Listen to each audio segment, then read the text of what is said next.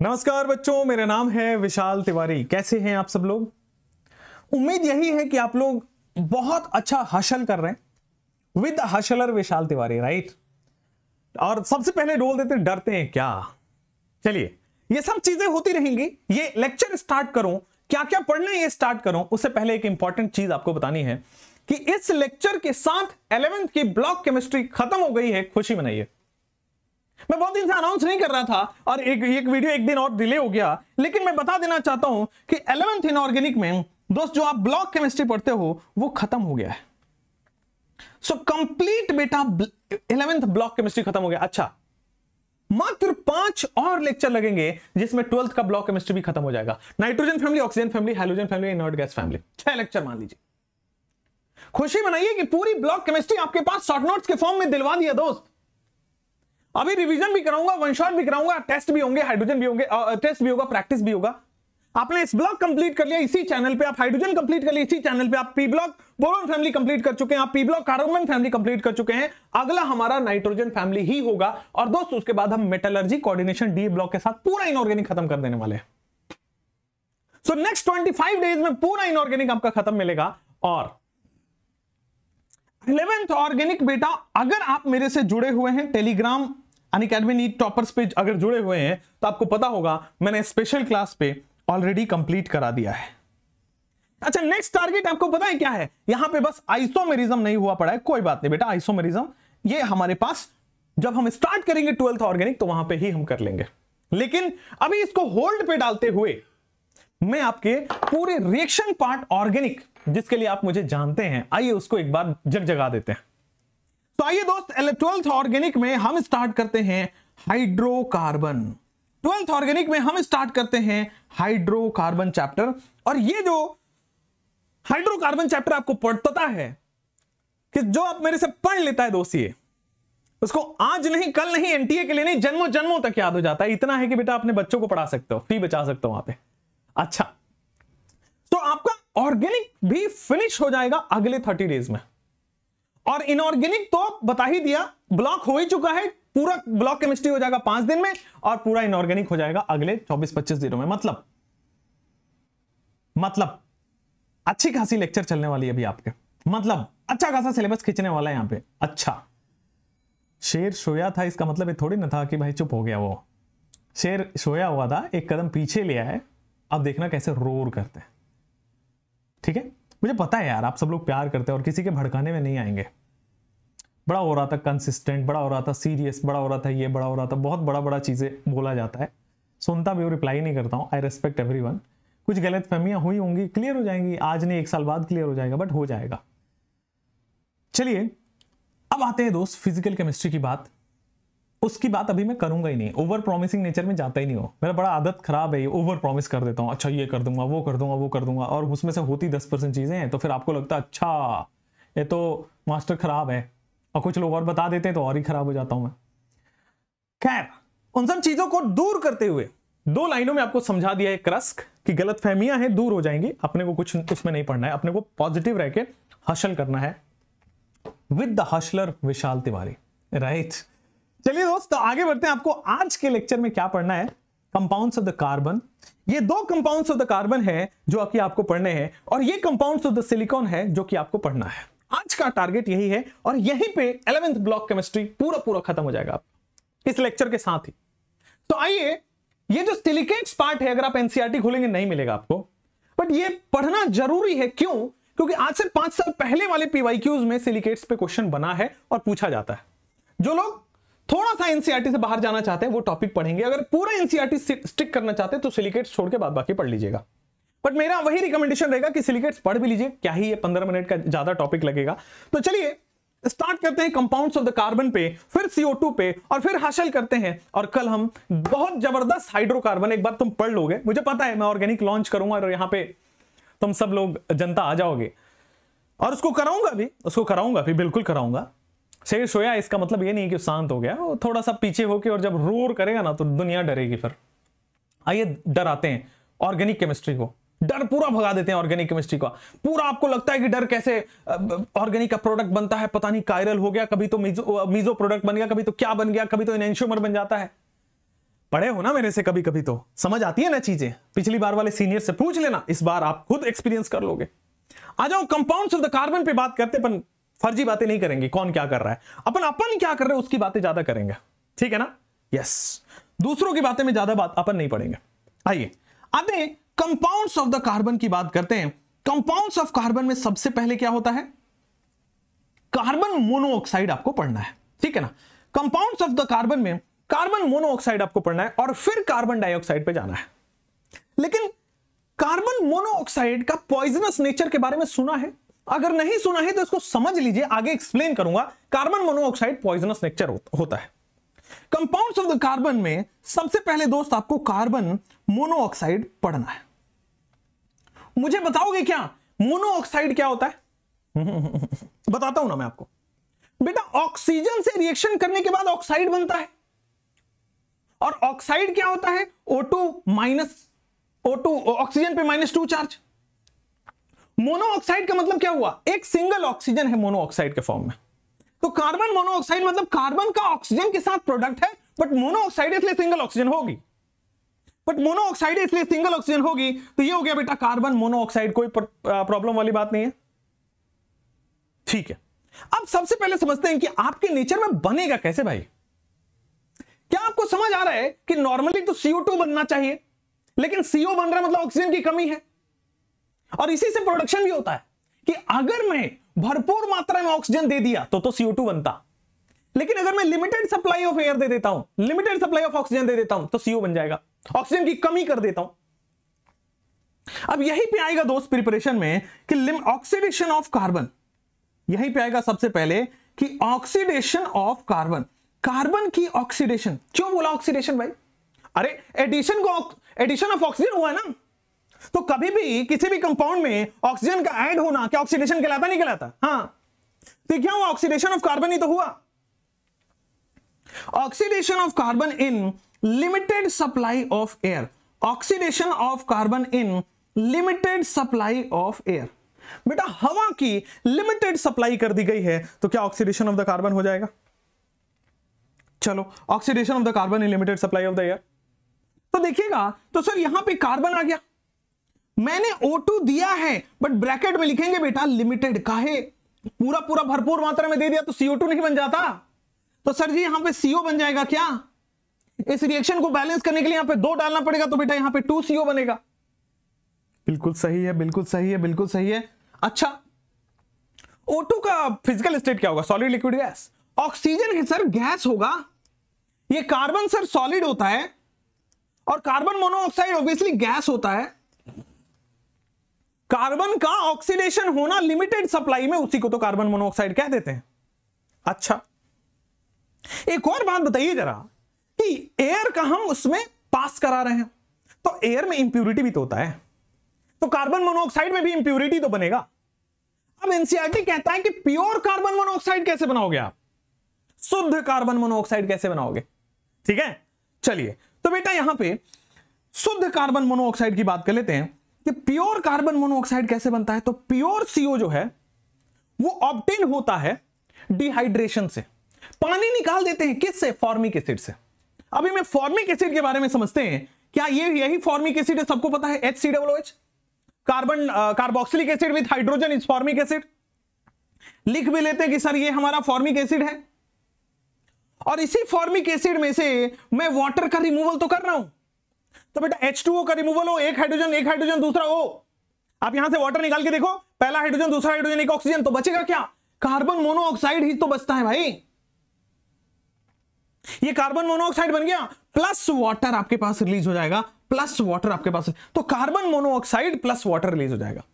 और ये जो कार्बन मोनोऑक्साइड है, क्या ये प्योर है? और ये जो कार्बन मोनोऑक्साइड है, क्या ये प्योर है कि नहीं? बिल्कुल प्योर है। क्यों? पानी सारा का सारा निकल गया, बचा क्या? इसमें कोई भी बाहरी O2 का पास नहीं किए हैं तो बाहर से इंप्योरिटी जाएगा नहीं तो फॉर्मिक एसिड में से H2 निकल गया। तो निकल गया तो बच्चा CO that is pure so यहाँ पे इस स्टेटमेंट को पूरा करेंगे। Pure CO is obtained by dehydration pure CO is obtained by dehydration of formic acid बोलो, समझ आ रहा है कि नहीं? हाँ। अच्छा ये जो डिहाइड्रेशन हुआ है, अपने आप थोड़ी होगा। कोई तो चाहिए होगा जो इसमें से पानी खींच ले। कौन है वो? कौन है जो सपनों में आया? कौन है जो फॉर्मिक एसिड में से पानी निकालता है? बेटे, कहीं से भी पानी निकालना हो, हम डिहाइड्रेटिंग एजेंट लेते हैं conc H two S four आप समझते हो फोम समझते हो? फोम फोम को पानी पे भिगाओगे तो सारा सारा पानी एब्जॉर्ब कर लेगा। जैसे सैंड होता है, उसके टेंडेंसी से पानी डालोगे तो एब्जॉर्ब पता भी दिखेगा भी नहीं। तो वो जो टेंडेंसी होती है एब्जॉर्ब करने की वाटर के एब्जॉर्ब करने की डिहाइड्रेट करने की, पानी निकाल लेने की, उसी को कहते हैं dehydrating agent with conc H two S four with conc H two S four और ब्रैकेट में लिखेंगे बेटा dehydrating agent with conc H two S four और ब्रैकेट में लिखेंगे बेटा डिहाइड्रेटिंग एजेंट कोई दिक्कत वाली बात नहीं है। प्योर कार्बन मोनोऑक्साइड वाटर निकालोगे प्योर सीओ बनेगा और यहाँ पे निकल गया। कोई दिक्कत वाली बात नहीं है। अच्छा। अब एक कॉमर्शियल प्रोडक्शन होती है इसका, ठीक है ना? इसको कॉमर्शियली कैसे बनाए? अगेन जब जब आपको कॉमर्शियल प्रोडक्शन समझना होता है ना, मैं इधर आ जाता हूँ ताकि आप लिख पाओ। जब जब आपको प्योर कार्बन मोनो जब जब आपको कॉमर्शियली बनाना होता है तो कॉमर्शियल प्रोडक्शन में बस ये ध्यान रखना है कि फ़ायदा की चीज़ हो। फ़ायदे की चीज़ का मतलब है, सर, कि ज़्यादा से ज़्यादा आपको बेनिफिट हो, कम खर्च निकले और प्रॉफिट ज़्यादा हो। ठीक है? कम खर्च निकले और प्रॉफिट ज़्यादा हो। आइए यहाँ पे बात करते हैं कॉमर्शियली आइए यहाँ पे बात करते हैं कि कॉमर्शियली हम इसको कैसे बनाते हैं कॉमर्शियली तो बेटा पानी तो मुफ़्त का है कहीं से भी आप ले सकते हो। सो so, कोक में वाटर यहाँ पे क्या करो स्टीम पास कर दो। कोक आपके पास क्या है? वो है आपके पास रेड हॉट कोक या फिर सिंपल लिखे ना हॉट कोक बेटा बहुत हाई टेम्परेचर पे आप कार्बन लेते हो हॉट कोक अब उसको आप स्टीम पास कर देते हो एच गैस पे आप क्या पास कर देते हो? स्टीम पास कर देते हो। ठीक है ना? तो यहाँ से आ जाएगा सर आपके पास हाई टेम्परेचर मतलब 473 केल्विन से 1273 केल्विन तक। आप अगर देखोगे तो यहाँ पे कार्बन मोनोऑक्साइड का कार्बन है, यहाँ पे स्टीम है सो यहाँ पे कार्बन मोनोऑक्साइड अच्छा स्टीम में क्यों कार्बन मोनोऑक्साइड बना? अगेन बेटा ये वेपर थे वेपर थे अब स्टीम में हाई टेम्परेचर है। तो सारा सारा ऑक्सीजन रिएक्ट नहीं करेगा। लिमिटेड सप्लाई मिलेगा अगेन तो सीओ बन जाएगा। ठीक है? और साथ में दोस्त H2 गैस अलग से रिलीज़ हो जाता है। यहाँ हाइड्रोजन H2 जो दिख रहा है, आपको अलग से रिलीज़ हो गया CO प्लस एच बोलो, कोई दिक्कत नहीं है। इसी CO प्लस एच को हम क्या बोलते हैं दोस्त?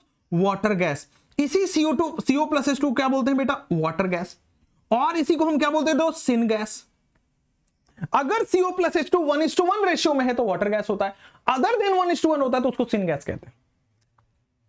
कॉमर्शियल प्रोडक्शन क्या होता है मित्रों? तो सर, कॉमर्शियल प्रोडक्शन बड़ा सिंपल है। कॉमर्शियल प्रोडक्शन बड़ा सिंपल है कि बेटा हॉट कोक में स्टीम पास कर दो सीओ प्लस एच टू बन जाता है वाटर गैस और सिन गैस कॉमर्शियल प्रोडक्शन में हॉट कोक में सीओ आपको स्टीम पास कर दो सीओ प्लस एच टू हो गया वाटर गैस और सिन गैस इसको बोलते हैं कॉमर्शियली. अच्छा अगर मान लीजिए स्टीम की जगह में एयर पास कर दो तो प्रोड्यूसर गैस बनता है। आइए ना समझाते हैं आपको कि अगर मैं स्टीम की जगह, लिखिए कि अगर मैं carbon plus O two plus N two air pass कर दू O2 गैस होता है N2 गैस होता है कार्बनवा सॉलिड होता है कार्बनवा सॉलिड होता है तो सर यहाँ पे अगेन हाईएस्ट टेम्परेचर देना होगा 1273 केल्विन ध्यान रखिए फोर टाइम्स N2 गैस दिया जाता है, दो कार्बन होगा। आपके पास बनेगा finally twice C O plus four N two gas twice C O gas plus four N two gas और ये आपका क्या है? प्रोड्यूसर गैस तो दो तरह की गैस आप बना सकते हैं। एक होता है वाटर गैस सिन गैस और दूसरा होता है प्रोड्यूसर गैस कॉमर्शियली आप इसको इस तरह से बना सकते हैं। क्यों कॉमर्शियली क्योंकि ना ही पानी में आपका पैसा लगा, ना ही एयर में आपका पैसा लगा, और सीओ बनकर तैयार भी हो गया। बस यहाँ से H2 गैस आप रिमूव कर लीजिए N2 गैस आप रिमूव कर लीजिए सीओ सीओ बन गया। और यहाँ से वाटर गैस और प्रोड्यूसर गैस का फॉर्मूला पूछा जा चुका है। वाटर गैस का प्रोडक्शन भी पूछा जा चुका है। प्रोड्यूसर गैस का फॉर्मूला पूछा जा चुका है। प्रोड्यूसर गैस का प्रोडक्शन पूछा जा चुका है। कितना इंपॉर्टेंट है ये देख लीजिए आप। और प्रोड्यूसर गैस कैसे बना है? इफ़ एयर इज़ पास्ड अगर हम एयर को if air is passed in place of steam if air is passed in place of steam तो आपके पास प्रोडक्शन प्रोड्यूसर गैस आ जाता है। अगर हम स्टीम की जगह एयर पास कर देते हैं तो दोस्त आपके पास प्रोड्यूसर गैस आ जाता है। सो so, कॉमर्शियली ये आपके पास बन जाता है। कोई प्रॉब्लम वाली बात नहीं है।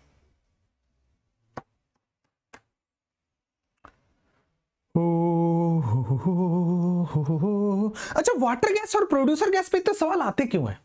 ये इतना इंपॉर्टेंट है क्या? बेटा ये बहुत अच्छा फ्यूल का काम करता है। वाटर गैस और प्रोड्यूसर गैस जो है, ये high amount of energy produce करते हैं। और ये इसीलिए फ्यूल का काम करते हैं इंडस्ट्रियल फ्यूल होते हैं ये।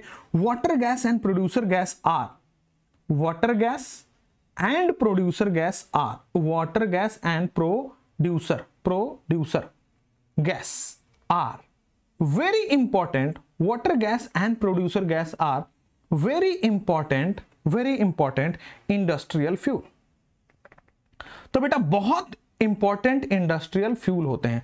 Water gas and water gas and producer gas are very important industrial fuel water gas and producer gas are very important industrial fuel कोई परेशानी वाली बात नहीं है। ये बहुत अच्छे इंडस्ट्रियल फ्यूल होते हैं। इसीलिए इसका प्रोडक्शन इसकी स्ट्रक्चर इसका रेशियो ये सब बहुत इंपॉर्टेंट है। इसका फॉर्मूला बहुत ज़्यादा इंपॉर्टेंट है। आइए।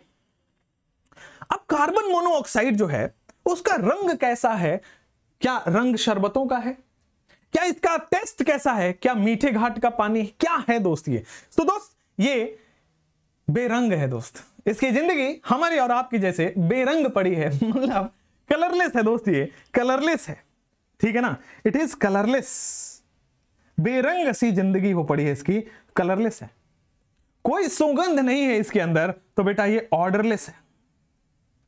कलरलेस है ऑर्डरलेस है। अब पानी के अंदर सोलूबल है कि नहीं? So colourless odourless and water के अंदर बेटा इनसोलूबल होता है। Colourless odourless and water insoluble अच्छा एक बात बताइए कार्बन मोनोऑक्साइड में कार्बन की ऑक्सीडेशन स्टेट बता पाएँगे क्या? देखिए जनरल की बात करते हैं कार्बन मोनोऑक्साइड में ऑक्सीडेशन स्टेट डिबेटेबल हो जाएगा प्लस टू प्लस थ्री आप इतना समझिए कि प्लस फोर तो नहीं है। कार्बन का highest oxidation state plus four होता है। हाँ प्लस फोर तो नहीं है ना कार्बन मोनोऑक्साइड में। ठीक है। अब क्या ये अपने ऑक्सीडेशन स्टेट को बढ़ा सकता है? कार्बन मोनोऑक्साइड में कार्बन की ऑक्सीडेशन स्टेट प्लस फोर से कम है। तो क्या अपने ऑक्सीडेशन स्टेट को प्लस फोर कर सकता है, बढ़ा सकता है? तो दोस्त खुद का ऑक्सीडेशन करा रहा है तो रिड्यूसिंग एजेंट हुआ ना। जो खुद का ऑक्सीडेशन कराता है तो वो रिड्यूसिंग एजेंट हुआ ना। तो बेटा carbon monoxide is a powerful reducing agent carbon monoxide is a powerful reducing agent. Carbon monoxide क्या है आपके पास? It is a powerful reducing agent ठीक है चलिए। सो so, आपके पास यहाँ पे क्लैरिटी आ गई। कार्बन मोनोऑक्साइड क्या है? पावरफुल रिड्यूसिंग एजेंट है। क्योंकि ये खुद का रिडक्शन खुद का ऑक्सीडेशन कर और जो खुद का ऑक्सीडेशन कर रहा है दूसरों का रिडक्शन करेगा। और दूसरों का रिडक्शन करने वाले को रिड्यूसिंग एजेंट कहते हैं। अच्छा ये इतना अच्छा रिड्यूसिंग एजेंट है कि मेटलर्जी के अंदर भी आप इसको पढ़ोगे smelting of the iron topic में, कि वहाँ पे ऑक्साइड ओर को रिड्यूस करता है। ये इतना अच्छा रिड्यूसिंग एजेंट है powerful reducing agent used in extraction of metal use in extraction of metal from oxide metallurgy में, जब भी मेटल ऑक्साइड से use in extraction of metal from जब भी बेटा मेटल ऑक्साइड से मेटल बनाना पड़ता है। जब भी मेटल ऑक्साइड से मेटल बनाना पड़ता है रिडक्शन कराना पड़ता है तो वहाँ पे हम इस कार्बन मोनोऑक्साइड का हम इस्तेमाल कर लेते हैं। इस कार्बन मोनोऑक्साइड का इस्तेमाल करते हैं। जैसे मान लीजिए ये क्या है? Fe2O3 उसको हम कार्बन मोनोऑक्साइड से रिएक्शन करा देते हैं। क्या ये रिडक्शन रिड्यूसिंग एजेंट है? क्या ये रिड्यूस कर देगा? तो सामने वाले से ऑक्सीजन हटा देगा। तो Fe2O3 से Fe अलग कर देता है। और बेटा आपके पास CO2 अलग कर देता है। बैलेंस करने की ज़रूरत नहीं है, कोई नहीं पूछेगा। चाहे तो आप कर सकते हैं। ये दो एफ़ यहाँ भी दो एफ़ कार्बन सेम है। ऑक्सीजन की बैलेंसिंग बस आपको करनी पड़ेगी। ओके आइए, इसी तरह बेटा आप पढ़ेंगे। ZnO ये भी एनसीआरटी में दिया हुआ है कि जिंक प्लस CO2 जब भी CO आपके पास मिले, भाई साहब वो रिड्यूसिंग एजेंट है। सामने वाले ऑक्साइड से ऑक्सीजन का रिमूवल करा देगा। रिड्यूसिंग एजेंट है। बोलो, रटना मना है। रिड्यूसिंग एजेंट है ऑक्सीजन का रिमूवल कराएगा। बोलो, ठीक है। सीओ के स्ट्रक्चर के बारे में किसको क्या ख्याल है कि कार्बन मोनोऑक्साइड कैसे बनता है, क्या स्ट्रक्चर होता है? आइए जो नेक्स्ट टॉपिक हम पढ़ने वाले हैं, वो यही है कि कार्बन जो है, क्या डबल बॉन्ड ओ बना सकता है? क्यों? मैक्सिमम यही बन सकता है, क्योंकि ऑक्सीजन की वैलेंसी छह है। दो इलेक्ट्रॉन एक्सेप्ट करके ऑक्टेट कंप्लीट कर लेगा, आठ हो जाएगा। अगर यह संभव है तो क्या यहाँ पे ऑक्सीजन के पास लोन पेयर है, यहाँ भी ऑक्सीजन के पास लोन पेयर है? हाँ जी। इसका तो ऑक्टेट कंप्लीट हो गया, छह था, दो बॉन्ड बना के दो इलेक्ट्रॉन ले लिया आठ हो गया। बट कार्बन के पास चार बॉन्ड बनना चाहिए। दो ही बना हुआ है। मतलब कार्बन के पास चार इलेक्ट्रॉन थे। चार और बॉन्ड बनने चाहिए। तभी तो चार इलेक्ट्रॉन लेके ऑक्टेट कंप्लीट करता। बट चार इलेक्ट्रॉन थे, दो बॉन्ड बने हैं। मतलब छह इलेक्ट्रॉन हुआ है अभी। तो दो और इलेक्ट्रॉन चाहिए इस कार्बन को ऑक्टेट कंप्लीट करने के लिए। सो दो और इलेक्ट्रॉन कहाँ से लेता है बेटा? ये कार्बन जो ऑक्सीजन का लोन पेयर है वो डोनेट कर देता है। मेरे प्यारे दोस्त यहाँ पे कार्बन डबल बॉन्ड ऑक्सीजन है। और दोस्त ये ट्रिपल बॉन्ड हो जाएगा कि नहीं? कार्बन जो है दोस्त ये देखेंगे आप बड़े प्यार से। कार्बन ट्रिपल बॉन्ड ऑक्सीजन इस ट्रि, ट्रिपल बॉन्ड को कोऑर्डिनेट बॉन्ड आप कह दीजिए बिल्कुल सही है। इसके पास एक ही लोन पेयर बचेगा बिल्कुल ठीक है। समझ गए हैं? हाँ। अगर मैं इस डोनर इस कोऑर्डिनेट बॉन्ड को अगर मैं इस कोऑर्डिनेट बॉन्ड को कोवलेंट बॉन्ड में चेंज करूँ तो डोनर पर प्लस एक्सेप्टर पे माइनस चार्ज आएगा, नहीं आएगा? बिल्कुल आएगा। यहाँ पे एक लोन पेयर आएगा, नहीं आएगा? बिल्कुल आएगा। और मैंने आपको सिखा रखा है, जब भी कार्बन पे नेगेटिव चार्ज दिखे, आँख बंद करके बोल दीजिए, उसके पास लोन पेयर है कार्बन पे नेगेटिव चार्ज का मतलब ही होता है कार्बन पे लोन पेयर है तो कार्बन मोनोऑक्साइड में ट्रिपल बॉन्ड बन रहे होते हैं, और दोस्त ऑक्सीजन पे प्लस कार्बन पे माइनस होता है, दोनों पे एक एक लोन पेयर होता है। This is the actual structure जिसमें दोनों के ऑक्टेट कंप्लीट हैं। क्लियर है? कोई दिक्कत वाली बात नहीं है? समझ गए हैं? दोस्त, यहाँ पे आप बोलेंगे कि वन सिग्मा है। वन सिग्मा बॉन्ड है। कार्बन मोनोऑक्साइड में वन सिग्मा बॉन्ड है और बेटा टू पाई बॉन्ड है। ठीक है? कोई परेशानी वाली ना, बात नहीं है। अब चूँकि कार्बन पे क्या है? लोन पेयर है। चूँकि कार्बन पे क्या है दोस्त? आपके पास लोन पेयर है। अब अगर ये लोन पेयर है तो किसी को डोनेट कर सकता है।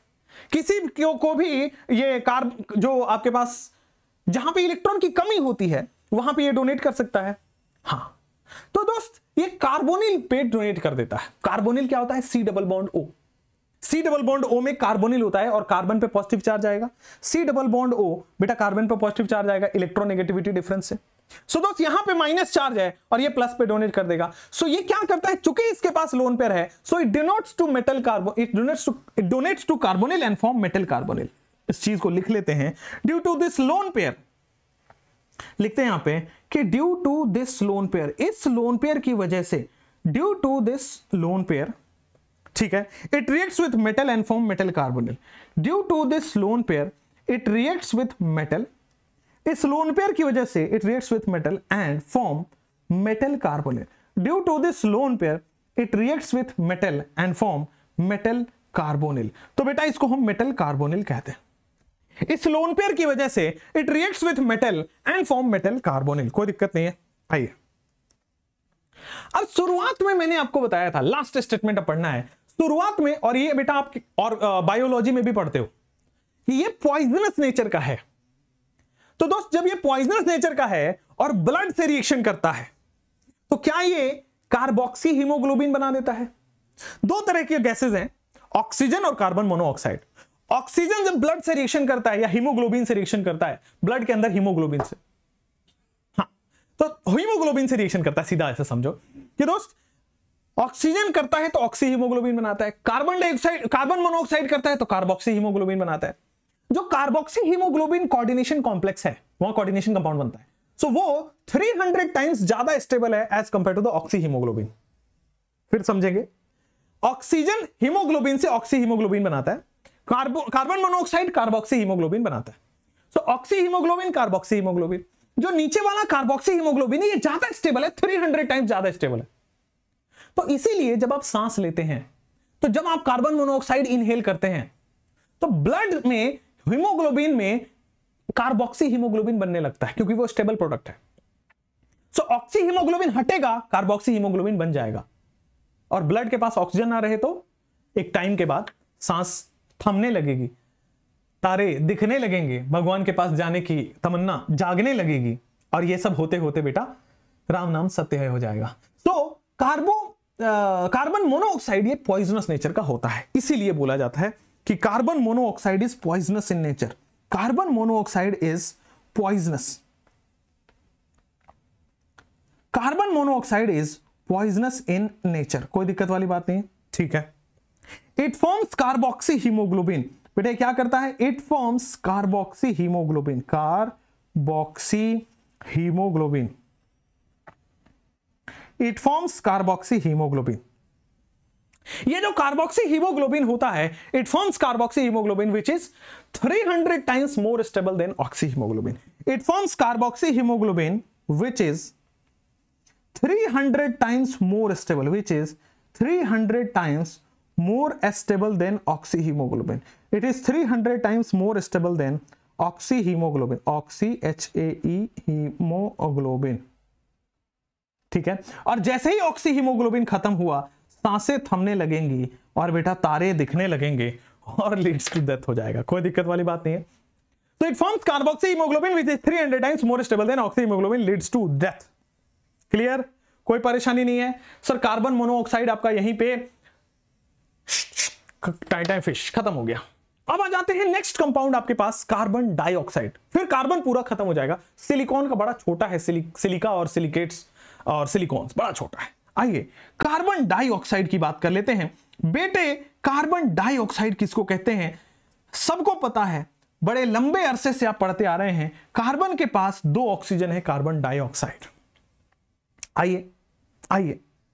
अब यहाँ पे carbon monoxide limited supply of the air हुआ था और इनकंप्लीट ऑक्सीडेशन हुआ था। लेकिन अगर मैं कंप्लीट कंबशन करा दूँ या कंप्लीट ऑक्सीडेशन करा दूँ तो क्या कार्बन डाइऑक्साइड बन जाएगा? आइए। Complete combustion of carbon. Complete combustion. Combustion बोलो, ऑक्सीडेशन बोलो, बात एक ही है। Complete combustion of carbon. Carbon के केस में बात एक ही है। वैसे ऑक्सीडेशन एंड कंबशन आर बहुत डिफरेंट थिंग बट कार्बन के केस में बनता तो वही है। So complete combustion of carbon and carbon containing compound complete combustion of carbon and carbon containing compound in excess of air बेटा, वहाँ पे एयर का हम बहुत इन एक्सेस ऑफ़ एयर इसको हम कहेंगे बेटा कार्बन डाइऑक्साइड जैसे मान लीजिए कार्बन सॉलिड है, वहाँ पे मैंने O2 गैस लिमिटेड लिया था बट यहाँ पे मैं फराटेदार भरपूर मात्रा में लिया है तो कार्बन डाइऑक्साइड बन जाएगा, कोई दिक्कत नहीं है। अगर कार्बन कंटेनिंग कंपाउंड भी हुआ ना, उसका भी हम ऑक्सीडेशन या कंबशन करा दें। तो बेटे, यहाँ पे कंबशन कराने पे CH4 gas plus CO2 gas बनता है। किसने बोला CO2 CH4 बनता? गधेड़ो। CH4 से CH4 बनेगा। वाटर गैस हाइड्रोकार्बन का कंबशन से वाटर और CO2 बनता है। ठीक है? क्लियर है? कोई दिक्कत नहीं है। ये तो हो गया नॉर्मल प्रिपरेशन की भाई साहब। आपने कार्बन सॉलिड लिया या फिर कार्बन कंटेनिंग कंपाउंड लिया, उसका कंबेशन करा दो तो कार्बन ऑक्सीजन मिलकर सी टू बनेगा। यहाँ पे हाइड्रोकार्बन है कार्बन का ऑक्सीजन वाला प्रोडक्ट हाइड्रोजन का ऑक्सीजन वाला प्रोडक्ट सो कार्बन का ऑक्सीजन वाला प्रोडक्ट ये बनेगा हाइड्रोजन का ऑक्सीजन वाला प्रोडक्ट ये बन गया। कंबेशन कराने से ऑक्सीजन वाला प्रोडक्ट बन जाएगा। नेक्स्ट लेबोरेटरी प्रिपरेशन की बात करते हैं कि कार्बन डाइऑक्साइड को लेबोरेटरी में कैसे बनाया जाता है। कार्बन डाइऑक्साइड को बेटा लेबोरेटरी के अंदर लेबोरेटरी प्रिपरेशन ठीक है? तो कार्बन डाइऑक्साइड को कैसे हम लेबोरेटरी में बनाते हैं? आइए।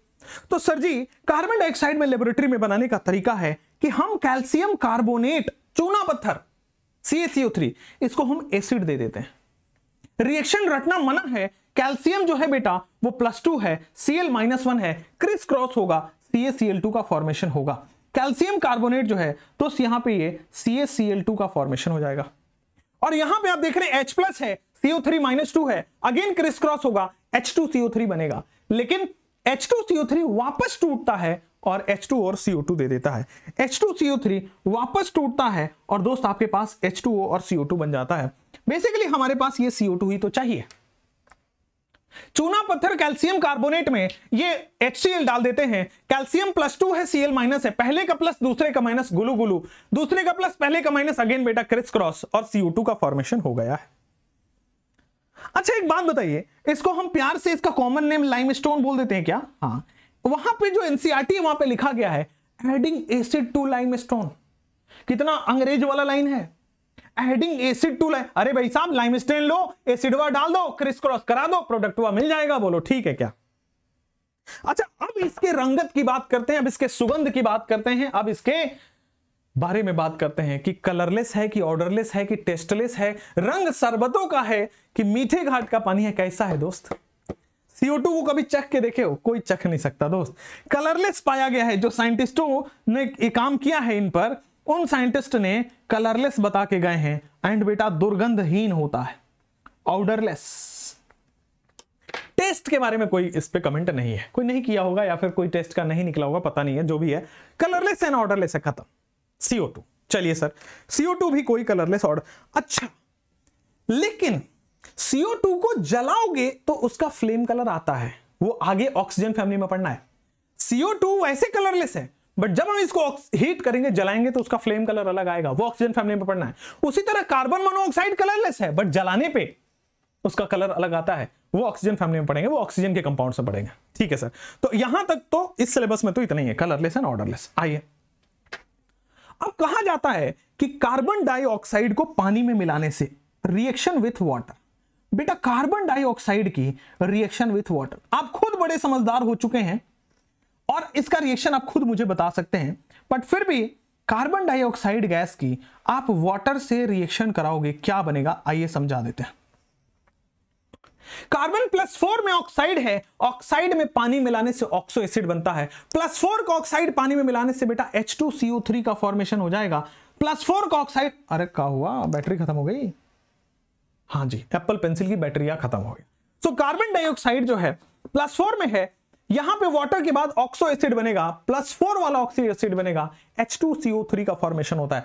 प्लस फोर वाला ऑक्सो एसिड बनेगा और H2CO3 का फॉर्मेशन होता है। ओके H2CO3 का फॉर्मेशन होता है। ओके आइए बेटे, ये क्या है H2CO3 बेटा, ये है कार्बोनिक एसिड ये क्या है H2CO3 बेटा, ये कार्बोनिक एसिड है। कोई दिक्कत नहीं है। बेटा, यहाँ पे ये कार्बोनिक एसिड है। कोई दिक्कत नहीं है। आइए H2CO3 it is a carbonic acid H two O plus CO2 H2CO3 carbonic acid हो जाएगा। रिएक्शन विथ वाटर अच्छा जी अच्छा जी अच्छा जी। कार्बोनिक एसिड के बारे में खास ख्याल है कि सर, ये डाई बेसिक एसिड होता है।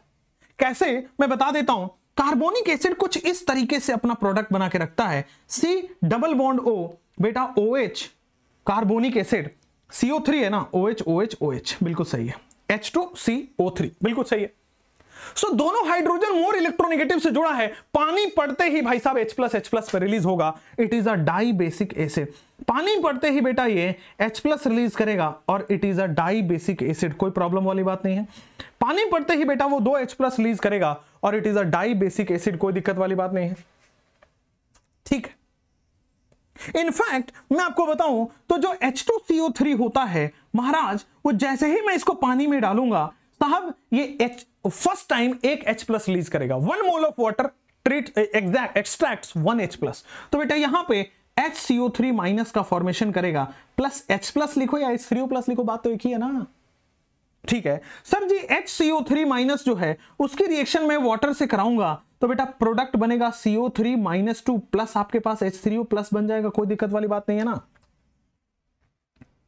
हाँ जी तो सर डाई बेसिक एसिड का यहाँ पे प्रूफ भी है कि H2CO3 को पानी में डालने के बाद एक एक करके वो H प्लस आसानी से रिलीज़ कर देता है। एक एक करके H प्लस आसानी से रिलीज़ कर देता है। ठीक है? So it it forms carbonate here H2O plus में डालने के बाद फाइनली दो H प्लस रिलीज़ कर दिया, एक ऊपर, एक नीचे। H प्लस लिखो H3O प्लस लिखो बात एक ही है।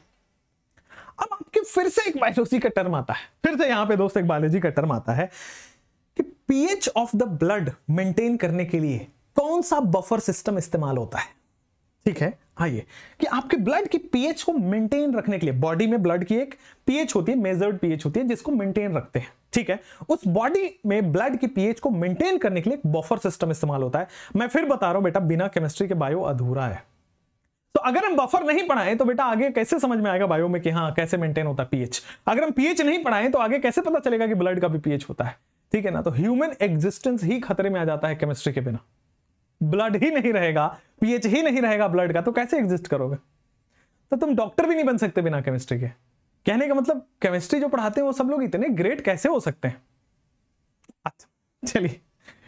नेक्स्ट आ जाते हैं आपके पास कि ये जो कार्बोनिक एसिड है H2CO3 और दोस्त जो है आपके पास HCO3 माइनस कार्बोनिक एसिड और HCO3 माइनस एक बफर सिस्टम होता है बफर सिस्टम कार्बोनिक एसिड और एस सीओ थ्री माइनस जो बफर सिस्टम होता है it helps to buffer system क्या होता है?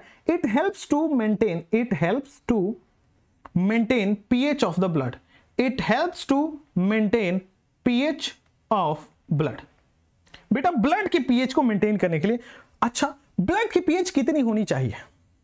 बायोलॉजी का क्वेश्चन ब्लड की पीएच कितनी होनी चाहिए? तो बेटे ब्लड की जो पीएच है, वो 7.262 7.42 तक मेंटेन होनी चाहिए। 7.26 टू 7.42 तक मेंटेन होनी चाहिए। ठीक है? और उसको कौन मेंटेन करता है? बफर। किसका बफर? ये एच सीओ थ्री माइनस इसको बाई कार्बोनेट आयन बोल सकते हैं। कार्बोनेट और बाई कार्बोनेट आयन का जो बफर सिस्टम है।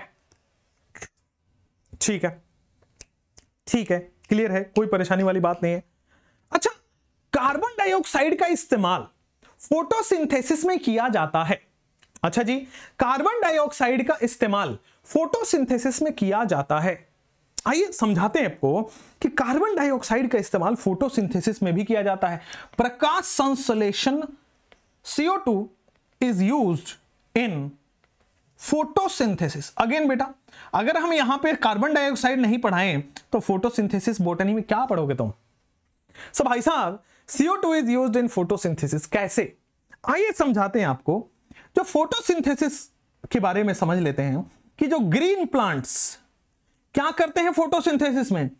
Converts atmospheric CO two green plants converts atmospheric CO two into carbohydrates green plants convert atmospheric CO two into carbohydrates such as glucose into carbohydrates such as glucose. अच्छा जी, कोई दिक्कत वाली बात नहीं। आइए, जो हमारे पास कार्बन डाइऑक्साइड है, जो हमारे पास वाटर है, उसके रिएक्शन हम करते हैं बेटा एच न्यू और क्या क्लोरोफिल भी होता है? क्लोरोफिल अच्छा जी।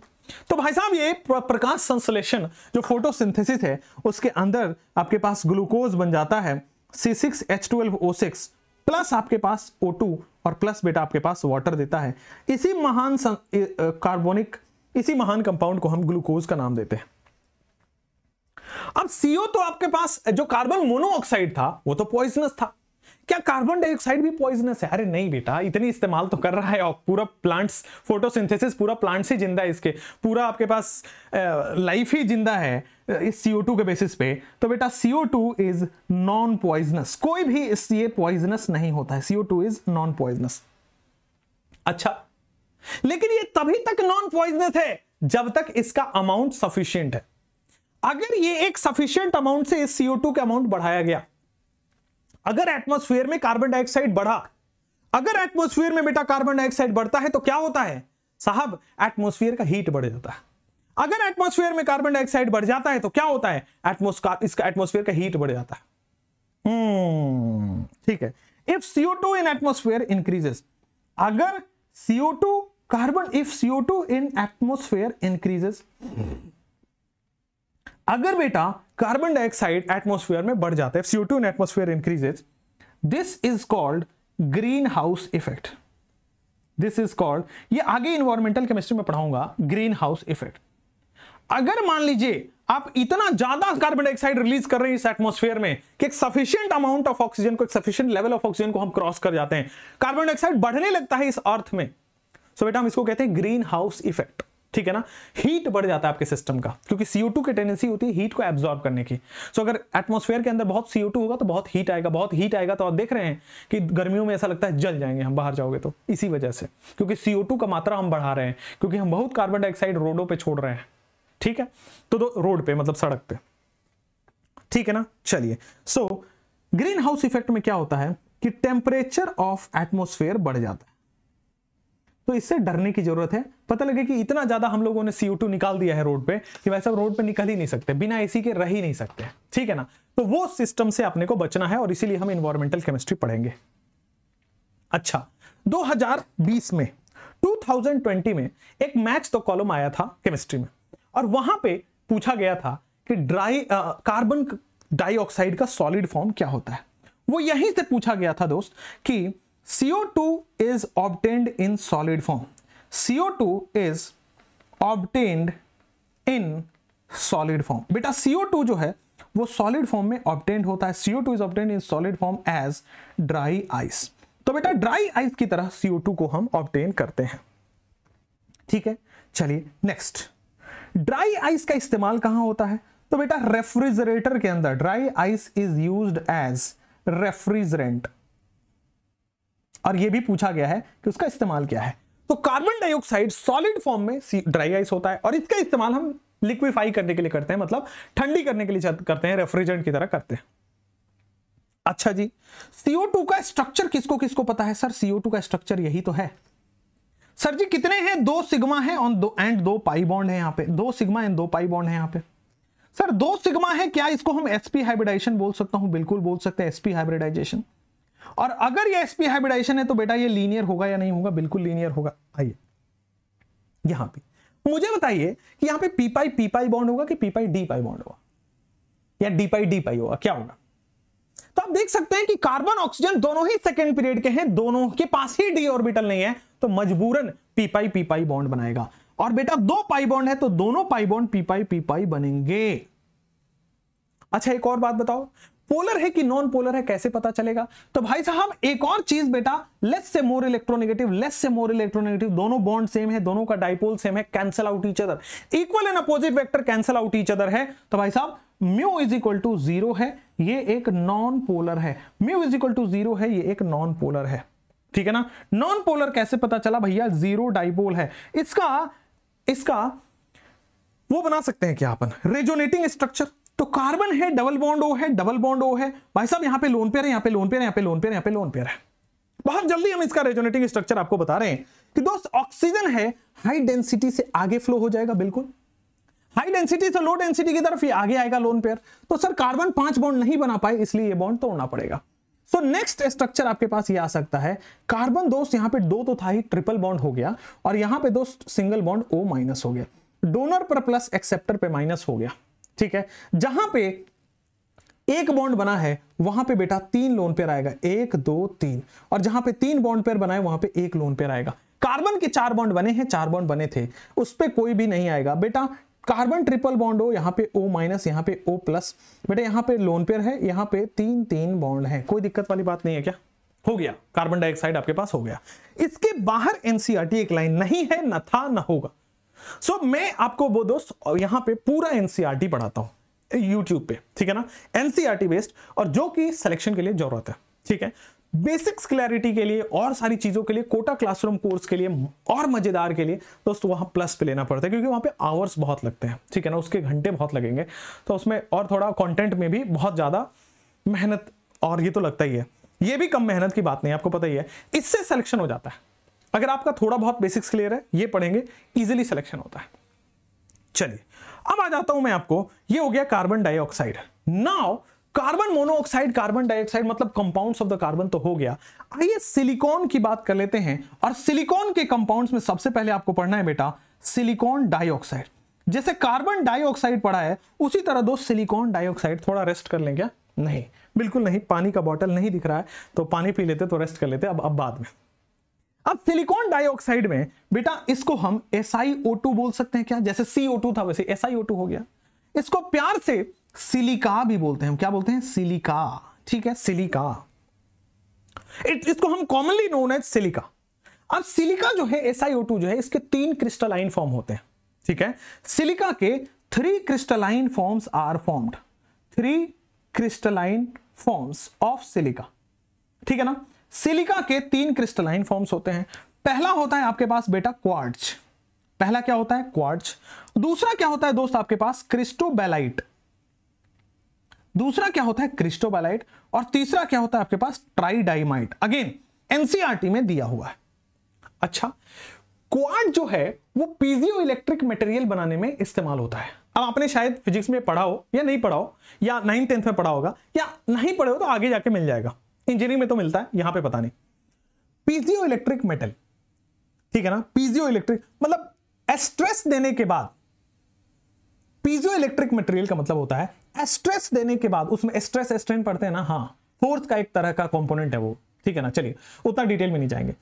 क्वांट जो है, वो पीजियो इलेक्ट्रिक मेटल के लिए इस्तेमाल किया जाता है। Use as a piezoelectric material अब इसको समझने के लिए दोस्त आप एक बार गूगल कर लीजिएगा। स्ट्रेस देने के बाद कंपाउंड मटेरियल के अंदर आपके पास use as a piezoelectric material मैं आपके सामने ही पीजो इलेक्ट्रिक मटेरियल कर लेता हूँ। ना मेरे काम का है, ना आपके काम का है बट समझने के लिए ज़रूरत है। वेट वन सेकेंड ला ला ला ला ला ला ला ला ला ला piezoelectric P I Z E O piezoelectric meaning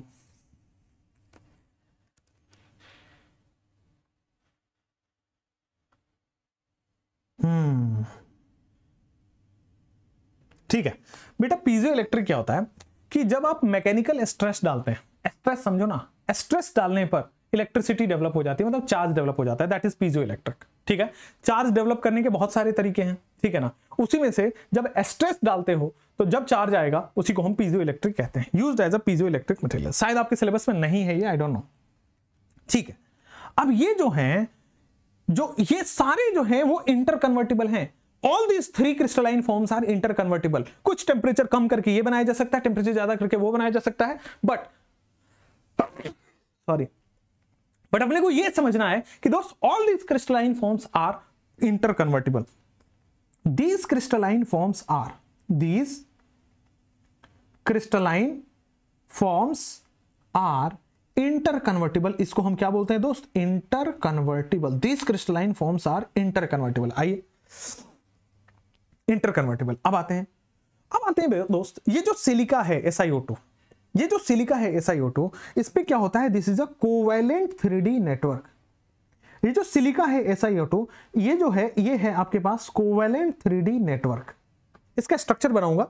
structure बनाऊँगा. पहले स्ट्रक्चर के बारे में एक्सप्लेन कर रहा हूँ. सो so, ये कोवेलेंट थ्री नेटवर्क है जिसमें each silicon is covalently bonded each silicon is covalently bonded each silicon is covalently bonded in a tetrahedral manner. Each silicon is covalently bonded in a tetrahedral manner to four oxygen atom. तो बेटा, चार oxygen atom each silicon is covalently bonded in a tetrahedral manner to four oxygen atom आइए। आइए। इसी चीज़ का मैं थोड़ा structure बना के बताता हूँ कि कैसे कोवलेंट थ्री डी जैसे मान लीजिए सिलिकॉन है। अरे यार, फिर से पेन खत्म हो गया। अच्छा आपके पास स्ट्रक्चर्स पहुँच रहे सॉरी इसके पास शॉर्ट नोट्स जा रहे हैं ना? आप लोग टेलीग्राम में, मैं शॉर्ट नोट्स डाल चुका हूँ, ठीक है ना? ये ब्लैक वाला शॉर्ट नोट्स भी मैं डाल देता हूँ और नॉर्मल शॉर्ट नोट्स भी मैं डाल देता हूँ, जो इलेक्ट्रिक डिजिटल शॉर्ट नोट्स जिसको बोलते हैं इलेक्ट्रॉनिक शॉर्ट नोट्स या फिर डिजिटल शॉर्ट नोट्स ठीक है ना? आईपैड शॉर्ट नोट्स जिसको बोलते हैं, ठीक है? और वो बहुत वायरल हो रहा है। मेरे एक पीडीएफ पे मैंने देखा था कि एक लाख व्यूज़ हो गए थे टेलीग्राम पे, किसी एक पीडीएफ पे, पुराने पीडीएफ है। सो एक लाख लोगों तक पहुँचा है वो, केवल टेलीग्राम के थ्रू तो दैट्स अमेजिंग इसका मतलब काफ़ी कंटेंट गैप है बच्चों में और टीचर्स में। तो देना चाहिए। तो वही मैंने दे रहा हूँ। चलिए, आइए सिलिकॉन डाइऑक्साइड में क्या होता है? जैसे मान लीजिए सिलिकॉन है। ये कोवलेंटली बॉन्डेड होता है। ये कोवलेंटली बॉन्डेड होता है चार ऑक्सीजन एटम से। आगे फिर से ये सिलिकॉन जो है, ये फिर से कोवलेंटली बॉन्डेड होता है चार ऑक्सीजन एटम से सिलिकॉन जो है, वो कोवलेंटली बॉन्डेड होता है चार ऑक्सीजन एटम से, ठीक है? सिलिकॉन ओ सिलिकॉन ओ नहीं नहीं नहीं नहीं नहीं यहाँ पे सीधा आ जाएगा, फिर ओ फिर सिलिकॉन फिर यहाँ पे आ जाएगा, फिर ओ फिर सिलिकॉन फिर यहाँ पे आ जाएगा, ये आगे ये आगे ये आगे, ठीक है? फिर ऑक्सीजन फिर बेटा आपके पास आ जाएगा सिलिकॉन फिर ऑक्सीजन फिर आ जाएगा सिलिकॉन फिर आएगा ऑक्सीजन फिर आएगा सिलिकॉन फिर आएगा ऑक्सीजन फिर आएगा सिलिकॉन फिर आगे। फिर दोस्त यहाँ पे आ जाएगा ऑक्सीजन फिर दोस्त यहाँ पे आ जाएगा ऑक्सीजन फिर दोस्त यहाँ पे आ जाएगा ऑक्सीजन और आगे इधर आगे इधर आगे इधर ऑक्सीजन मतलब ये फिर थ्री नेटवर्क है। सब तरफ़ फैलता चला जाएगा। सब तरफ़ बेटा आगे की तरफ़ सिलिकॉन ऑक्सीजन सिलिकॉन ऑक्सीजन ऐसे जुड़ता चला जाएगा। कोई दिक्कत वाली बात नहीं है। फिर बेटा ऑक्सीजन है। फिर बेटा यहाँ ऑक्सीजन है। आइए। So this is a covalent three network SiO2 का। This is a covalent three network आप इस सिलिकॉन से बात करोगे तो ये दिखाने के लिए शीट जैसा लग रहा है बट ये टेट्राहाइड्रल स्ट्रक्चर होता है। ठीक है? तो दोस्त, यहाँ पे it is a covalent three network in which silicon atom is covalently bonded to four other oxygen atom silicon atom बेटा कोवेलेंट बॉन्डेड बॉन्डेड होता है फोर अदर ऑक्सीजन एटम से।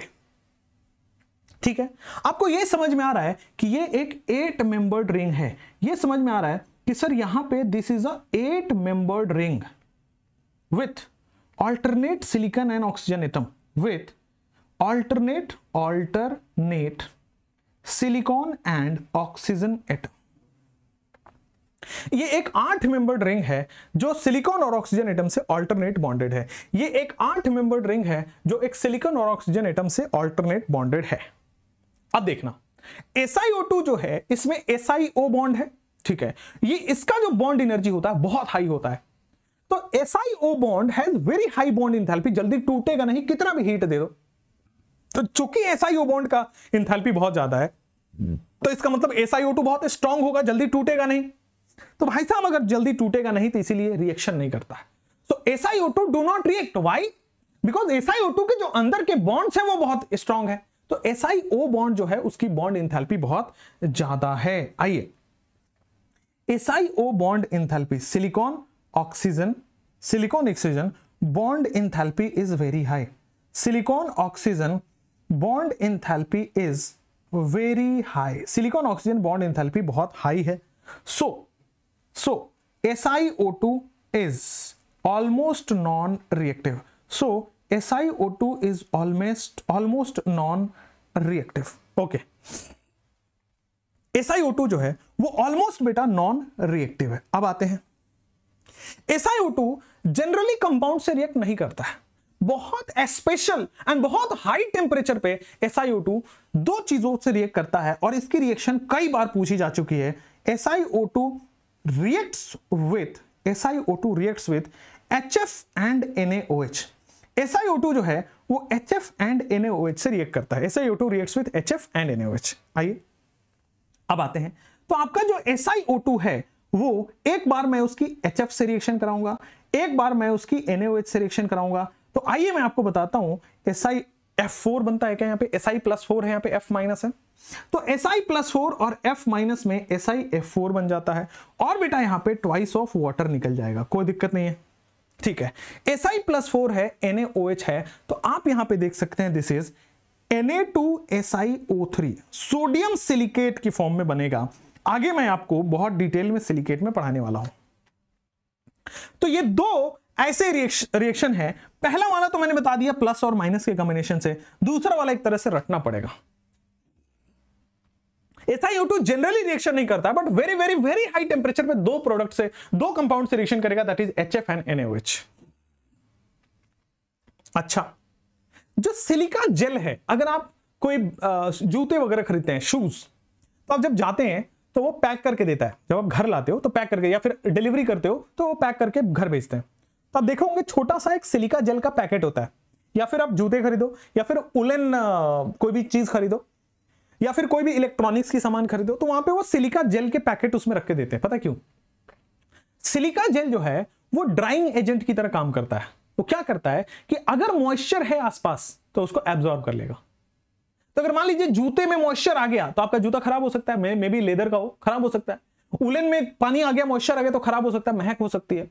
सो वो सारी चीज़ें जहाँ पे पानी नहीं रहना चाहिए, वहाँ पे हम सिलिका जेल इस्तेमाल कर लेते हैं, जिससे कि वो मॉइस्चर एब्जॉर्ब कर ले और ड्राइंग एजेंट की तरह इस्तेमाल हो जाए।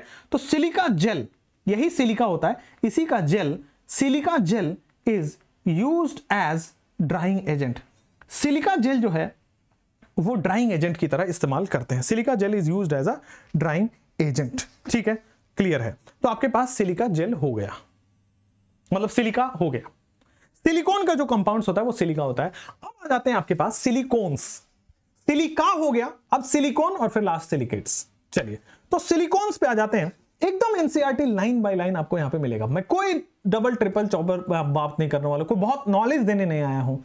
हाँ सिर जग गया है तो उसको थोड़ा सा आ, समय दीजिए। वो जब आएगा तो इतना रोर करेगा कि दुनिया देखेगी। फिर सब डर लग, डरने लगेंगे।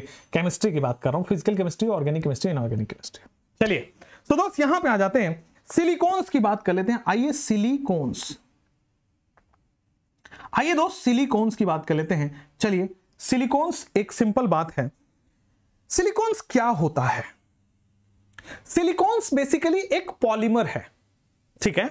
एक ऑर्गेनो सिलिकन पॉलीमर है, जिसमें कार्बन भी आएगा। कार्बन इसलिए क्योंकि ऑर्गेनो है, और ऑर्गेनिक का मतलब ही कार्बन हो गया। 99% ऑर्गेनिक कंपाउंड कार्बन से मिले हैं।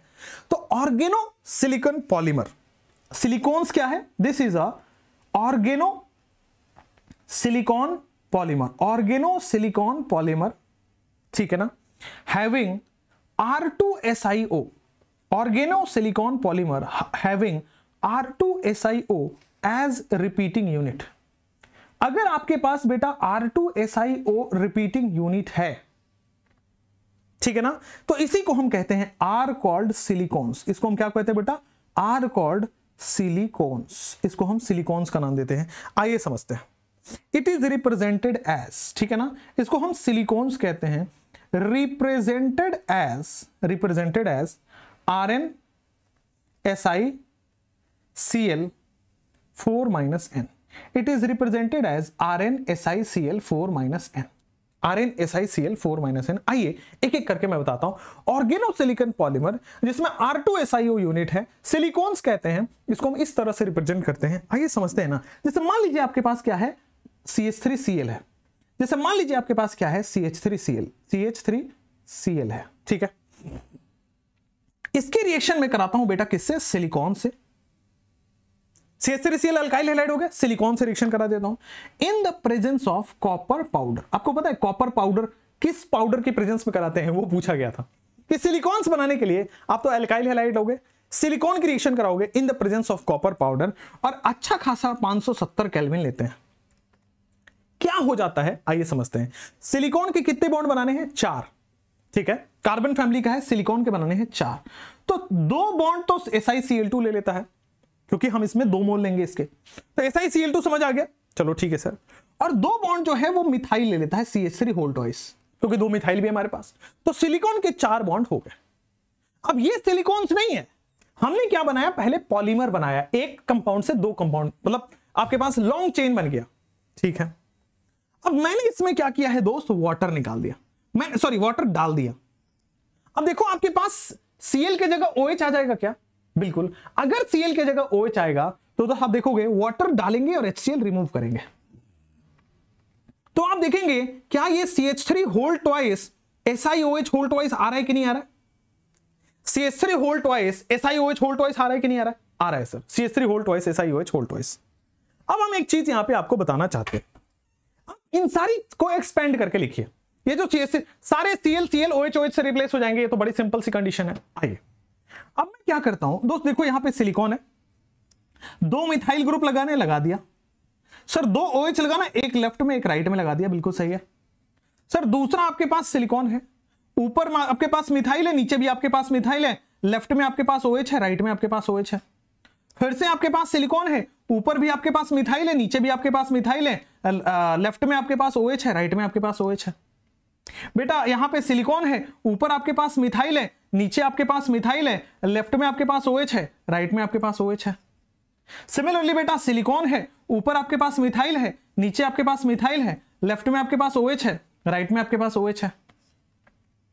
OH OH से दोस्त ये वाटर का रिमूवल हो जाता है this is OH OH water का रिमूवल दूसरा कंडीशन है सर अगेन वाटर का यहाँ से रिमूवल हो गया है। तीसरा आपके पास ये वाटर का रिमूवल फिर से कर दिया गया है। चौथा आपके पास ये वाटर का रिमूवल फिर से कर दिया गया है। आप देखोगे तो अगर मैं वाटर का रिमूवल करने के बाद जो प्रोडक्ट बनाता हूँ सो दोस्त, ये यही तो है। ऑक्सीजन फिर सिलिकॉन ऊपर मिथाइल नीचे मिथाइल फिर से ऑक्सीजन फिर सिलिकॉन ऊपर मिथाइल नीचे मिथाइल फिर से ऑक्सीजन फिर से सिलिकॉन ऊपर मिथाइल नीचे मिथाइल एंड सो ऑन ऐसा बेटा वाटर निकलने के बाद होता रहेगा, कोई परेशानी नहीं है। ऐसा वाटर निकलने के बाद इस तरह से बेटा एक ऑक्सीजन ऐसे जुड़ता रहेगा, कोई परेशानी नहीं है। अब जैसे ही ये हुआ, अब जैसे ही ये हुआ, बेटा यहाँ पे देखेंगे ये हो जाएगा सिलिकॉन ऊपर CH3 नीचे CH3 ठीक है? यहाँ पे लेफ़्ट में आपके पास ऑक्सीजन है राइट में आपके पास ऑक्सीजन ठीक है? और आप मैं जनरल एक ट्रेंड आपको बताता हूँ, क्या हम यही बना पा रहे हैं कि नहीं बना पा रहे हैं? बिल्कुल। और इसमें आप रिपीटिंग यूनिट देखें तो क्या यही हमारा रिपीटिंग यूनिट है? This one this one is the repeating unit oxygen के साथ? Yes so this one is the repeating unit C S three मतलब एसआई ऊपर मिथाइल, नीचे मिथाइल और सामने oxygen this is the repeating unit in silicones ये हमारे पास रिपीटिंग यूनिट है सिलिकॉन्स के अंदर. सो so बेटा, ये रिपीटिंग यूनिट है सिलिकॉन्स के अंदर. These are the repeating units in silicones ला ला ला ला ला these are the repeating units in silicones आइए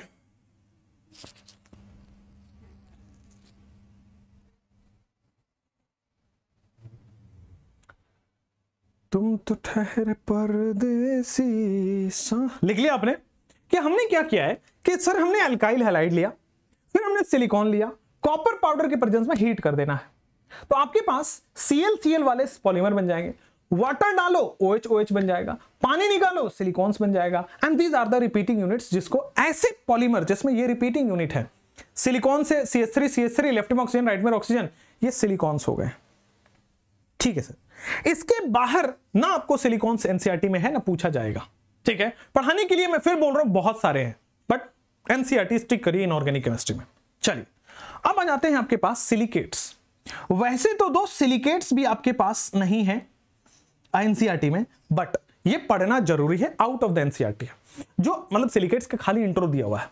तो अगर आप वीडियो एंड करना चाहते हो तो कर सकते हैं, लेकिन आप पढ़ना चाहते हैं तो इसको कंप्लीट कर लीजिए, दस मिनट लूँगा। चलिए, आइए। तो तो सिलिसिक एसिड आपको मैंने पढ़ाया हुआ है H four S I O four जब मैंने सिलिकॉन का हाइड्रेशन करा रहा था तब। तो सर, अगर मैं डेरिवेटिव ऑफ़ सिलिसिक एसिड की बात करता हूँ, silicic silicic acid so silicic acid क्या होता है? H four S I O four या फिर आप इसको S I O H whole four लिख सकते हैं। ठीक है? या फिर इसको आप H four S I O four या फिर S I O H whole four लिख सकते हैं। ठीक है? अगर इसी का डेरिवेटिव होता है, इसी को हम सिलिकेट्स कहते हैं। जो बेसिक यूनिट है सिलिकेट्स का, बेटा जो बेसिक यूनिट है सिलिकेट्स का सो बेसिक यूनिट होता है आपके पास S I minus four these are the basic units अब आप मुझे बता पाएँगे S I O four minus four में सिलिकॉन है, बेटा ओ माइनस है यहाँ ओ माइनस है यहाँ पे ओ माइनस है यहाँ पे ओ माइनस है, यही तो होगा। और अगर सिलिसिक एसिड होता तो सारे माइनस एच प्लस ले लेते। S I O H O H O H बन जाता। ठीक है सर बेटे, कितने सिग्मा बॉन्ड दिख रहे हैं? तो सर जी, चार सिग्मा बॉन्ड दिख रहा है। बेटे, कितने चार सिग्मा बॉन्ड बनते हैं? कौन से हाइब्रिडाइजेशन होता है? तो बेटा, आपको sp3 हाइब्रिडाइजेशन दिख रहा है। अगर sp3 हाइब्रिडाइजेशन है तो क्या दोस्त, ये टेट्राहेड्रल भी आपको दिख रहा है? बिल्कुल सही, सर। सो यहाँ पे हमारे पास sp3 हाइब्रिडाइजेशन होगा और आपके पास बेटा टेट्राहेड्रल हो जाएगा। एनसीआरटी में से ज़्यादा कुछ है नहीं। दिस इज़ व्हाट एनसीआरटी है इज़ बट अब हमें टाइप्स ऑफ़ द सिलिकेट पढ़ना है। शॉर्ट में पढ़ना है, लेकिन अच्छे से पढ़ना है, जिससे सवाल हो जाए, जो आते हैं तो। आइए। अब आते हैं क्लासिफिकेशन ऑफ़ सिलिकेट पे, कि सिलिकेट की किन किन चीज़ों पे क्लासिफाई किया गया है और कैसे कैसे किया गया एग्जांपल्स क्या है फॉर्मूला क्या है चार्ज क्या है। सो आइए टाइप्स ऑफ़ सिलिकेट की बात करते हैं। सो आइए टाइप्स ऑफ़ सिलिकेट की बात करते हैं टाइप्स ऑफ़ द सिलिकेट आइए। सबसे पहले मैं इसका ट्रिक बताऊँगा कि बेटा ऑटो पे चढ़े हो क्या? हाँ जी। तो ऑटो पे मतलब ऑर्थो ऑर्थो ऑटो मतलब ऑर्थो ऑटो पे बेटा पैरों से चढ़ते हो ना? बिल्कुल सर। तो ऑर्थो पे पैरो। क्या है आपके पास? ट्रिक यहाँ पे लिखना चाहता हूँ। ऑटो पैरो ऑटो पे चलते हो। पैरों से ही तो चढ़ के बैठते हो। फिर बेटा, इन ऑटो से उतरने के बाद आप साइकिल भी तो है। ऑटो से नीचे कहाँ जाओगे? साइकिल। तो साइकिलिक ऑर्थो पैरो, साइकिल। फिर बेटा, साइकिल जो होती है, पुराने जमाने में बेटा देखते हो सिंगल चेन वाली साइकिल आती थी। ठीक है सर? सिंगल चेन वाली साइकिल आती थी।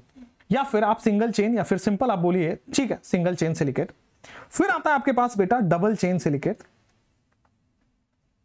फिर सिक्स आता है आपके पास बेटा शीट सिलिकेट और फिर बेटा सेवेंथ आता है आपके पास थ्री डी सिलिकेट ऑटो पे पैरों से साइकिल चलाते हुए ऑटो पैरों से साइकिल चलाते हुए, आप समझो आप ऑटो वाले हो। आप ऑटो वाले हो जो कि अपने पैरों से साइकिल चलाते हो। लेकिन पहले बेटा सिंगल चेन की साइकिल आती थी। अब भाई साहब डबल चेन वाली साइकिल आप चला रहे हो क्योंकि थोड़े से ऑटो ज़्यादा कमा रहे हो आप।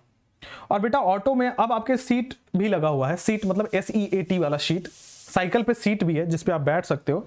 और बेटा वहाँ से आप थ्री व्यू ले रहे हो नज़ारे ले रहे हो मस्त। सो so, आपके पास ortho silicate types of the silicate में आएगा। Pyro silicate cyclic silicate single chain silicate double chain silicate sheet silicate and three silicate these are the types of the silicate ortho से लेकर के three तक auto, pyro, cycle, single chain, double chain and sheet silicate and three types of the silicate यहाँ पे आ गया अब सबसे पहले हम पढ़ेंगे बेटा ऑर्थोसिलिकेट के बारे में कि ऑर्थोसिलिकेट क्या क्या होता है, कैसे कैसे होता है। आइए हेडिंग लगा दीजिएगा ऑर्थोसिलिकेट अच्छा जी ऑर्थोसिलिकेट ऑर्थोसिलिकेट क्या होता है, समझते हैं। बेटा ऑर्थोसिलिकेट में द सिंपलेस्ट एक सेकेंड ऑर्थोसिलिकेट में क्या होता है सिंपलेस्ट सिलिकेट ऑर्थोसिलिकेट क्या होता है? Simplest silicate which contains simplest silicate which contains S I O four minus four tetrahedral unit बेटा S I O four minus four tetrahedral unit जिसके पास होता है, उसको हम कहते हैं ऑर्थोसिलिकेट ऑर्थोसिलिकेट में आप देखेंगे तो ये हो जाएगा सिलिकॉन ऊपर जाएगा बेटा ओ माइनस लेफ़्ट में जाएगा ओ माइनस नीचे जाएगा ओ माइनस राइट में जाएगा O minus this is orthosilicate थोड़ा टेट्राहेड्रल का अगर मैं आपको फील दिलाऊं थोड़ा टेट्राहेड्रल का अगर मैं आपको फील एक सेकेंड थोड़ा टेट्राहेड्रल का अगर मैं आपको फील दिलाऊं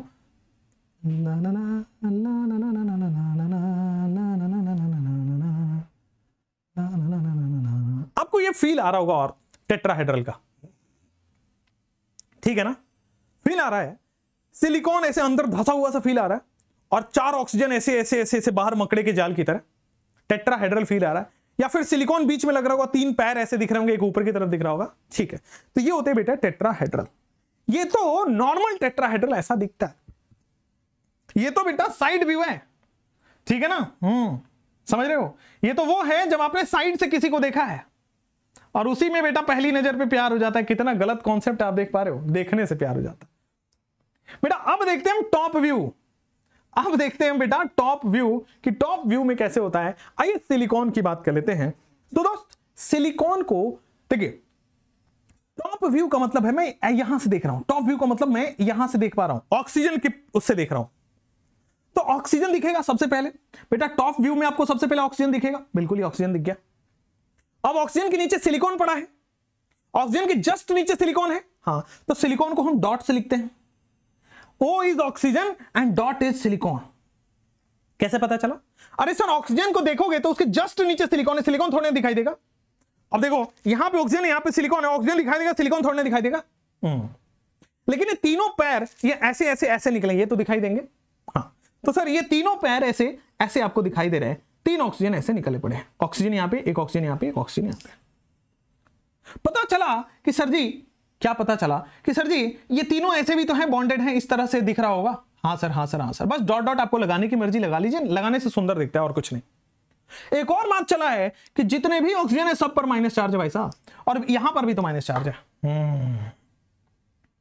तो भाई साहब, इसका जो फॉर्मूला है, वो S I O four minus four है। इसका जो फॉर्मूला है, वो S I O four minus four है। एग्ज़ाम में आपको ये भी दिया जा सकता है, ये भी दिया जा सकता है। एग्ज़ाम में बेसिकली ज़्यादातर ये सर्कल्ड वाला जो टॉप व्यू है, ये देके पूछा जाता है। सो टॉप व्यू आपको ड्रॉ करना आना चाहिए। टॉप व्यू बेटा ड्रॉ करना आना चाहिए। ठीक है? सो ये simplest orthosilicate is the simplest silicate जो S I O four minus four बोला जाता है। अब आते हैं ऑर्थो के बाद पायरोसिलिकेट पायरोसिलिकेट क्या होता है? कि जब दो ऑर्थोसिलिकेट आपस में एक ऑक्सीजन शेयर कर रहा हो सिलिकॉन के पास चार ऑक्सीजन है। अगर एक ऑक्सीजन कॉमन है तो फिर उसको हम पायरोसिलिकेट बोलते हैं। ये ऑर्थोसिलिकेट हो गया। आगे आ गया बेटा, पायरोसिलिकेट। आइए पायरोसिलिकेट की बात करते हैं।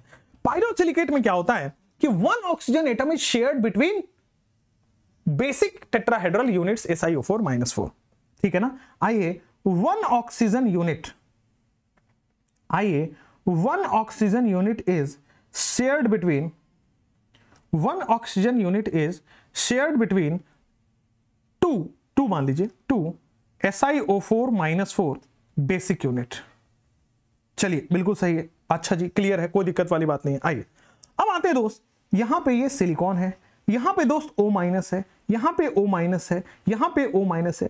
अगर चौथा ऑक्सीजन मैं दो बेसिक यूनिट के बीच में शेयर कर देता हूँ, कोई गुना है क्या? भाई, इसी को हम बोलते हैं अब देखो, ये भी S I four minus four है, वो भी S I four minus four एक ऑक्सीजन शेयर कर लिया दोनों में। इसी को हम क्या बोलते हैं? पायरोसिलिकेट ठीक है? अब देखिए पायरोसिलिकेट का मैं टॉप व्यू बनाऊँगा। सबसे पहले एक बार यहाँ से देखूँगा, इस ऑक्सीजन से दिख रहा है, और एक बार मैं यहाँ से देखने की कोशिश कर रहा हूँ। आइए। सो दोस्त पहला लेफ़्ट वाला ऑक्सीजन दिख गया राइट वाला ऑक्सीजन भी दिख गया।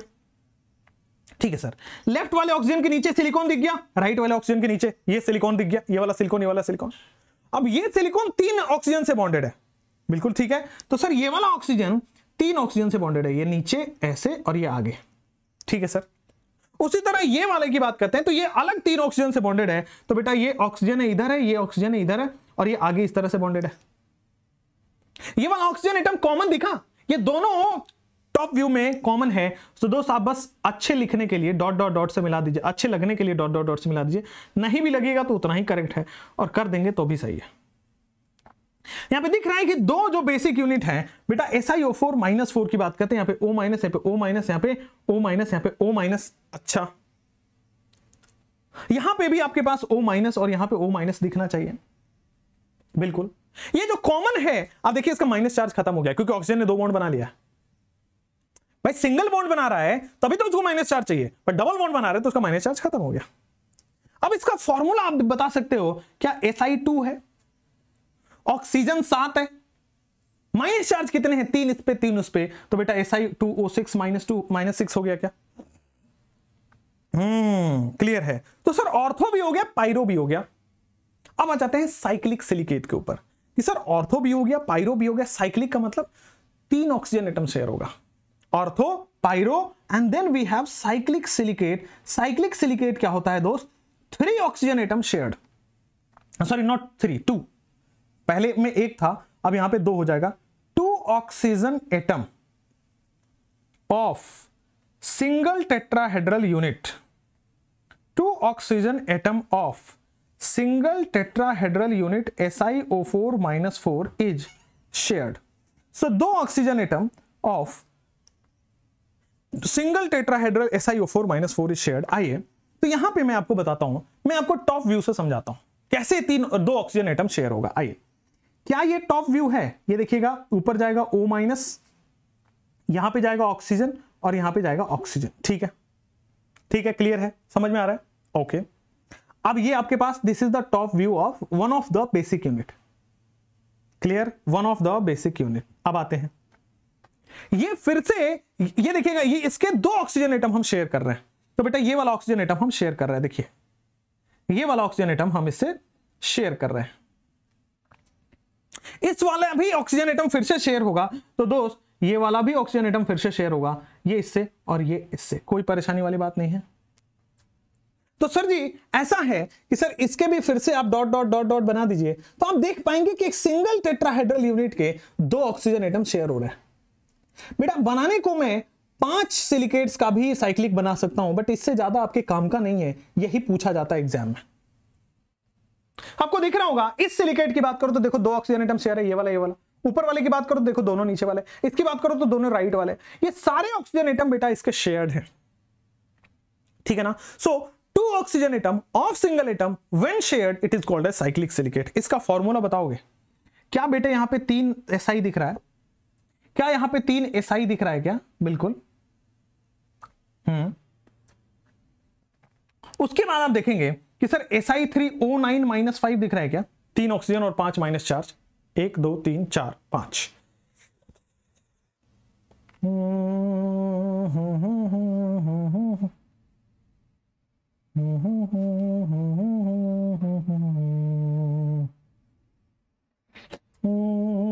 S I three O nine minus five अब S I three O nine minus six ठीक है, चलिए। इसका जनरल फॉर्मूला क्या होता है? माइनस सिक्स होगा। इसका जनरल फॉर्मूला होता है, दोस्त। General formula is equal to S I three whole N minus two N ठीक है ना? इसका जनरल फॉर्मूला होता है S I three whole N minus two N अब देखोगे एन थ्री में कैसे माइनस सिक्स पहचाना यहाँ पे एन है ना थ्री है। तो दोस्त, यहाँ माइनस टू एन सिक्स चला जाएगा। ठीक है ना? माइनस सिक्स कर लीजिए थोड़ा अच्छे से। पेन खत्म हो गया। आइए तो ये हो गया दोस्त आपके पास साइक्लिक जब दो ऑक्सीजन एटम एक साइकिल का फॉर्मेशन कर रहा है। दो ऑक्सीजन एटम शेयर हो रहा है और साइकिल का फॉर्मेशन कर रहा है। ठीक है? अब सिंगल चेन सिलिकेट क्या होता है? यहाँ भी दो ही ऑक्सीजन एटम शेयर हो रहा है। बट साइकिल का फॉर्मेशन ना करके वो ओपन चेन का फॉर्मेशन कर लेता है। ठीक है? Two oxygen atom of single tetrahedral unit is shared यहाँ पे आ गया S I three whole N minus two N अब आते हैं। चलिए, ये माइनस सिक्स अच्छे से कर लीजिए आप। ठीक है, चलिए, आइए। अब आते हैं सिंगल चेन सिलिकेट के ऊपर। सिंगल फिर आ जाता है बेटा चेन और फिर आपके पास आ जाएगा single chain silicate single chain और फिर आपके पास आ जाता है सिलिकेट सिंगल चेन सिलिकेट के ऊपर। आइए। अब आते हैं दोस्त, यहाँ पे कि each unit each unit shares two oxygen atom हर यूनिट बेटा दो ऑक्सीजन एटम शेयर करता है। ठीक है? जैसे यहाँ पे आएँगे सो दिस इज़ बेटा आपके पास ऑक्सीजन ये ऊपर आएगा ऑक्सीजन यहाँ पे माइनस चार्ज यहाँ पे लेफ़्ट में आएगा ऑक्सीजन यहाँ पे राइट में जाएगा ऑक्सीजन ये आपके पास एक सिंगल टेट्राहेड्रल यूनिट हुआ. यहाँ पे आपके पास एक सिंगल टेट्राहेड्रल यूनिट हुआ. क्लियर बात है कि नहीं है? ठीक है. नीचे आप जाएँगे दोस्त तो अगेन आपके पास सिंगल टेट्राहेड्रल यूनिट हुआ क्या? आपके पास आ, आ, आ, आ, ये ओ यहाँ पे ऑक्सीजन यहाँ पे सिलिकॉन यहाँ पे ये, यहाँ पे वो ऑक्सीजन ठीक है? फिर आगे जाएँगे तो दोस्त, यहाँ पे सिलिकॉन यहाँ पे डॉट यहाँ पे ऑक्सीजन यहाँ पे ऑक्सीजन यहाँ पे फिर आपके पास दोस्त, ये दो दो ऑक्सीजन एटम शेयर हो रहा है, इसमें कोई दिक्कत वाली बात नहीं है.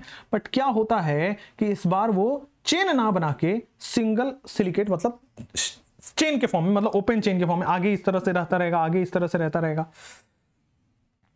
ठीक है. Okay okay okay. Clear clear clear कोई दिक्कत वाली बात नहीं नहीं नहीं नहीं नहीं नहीं नहीं है।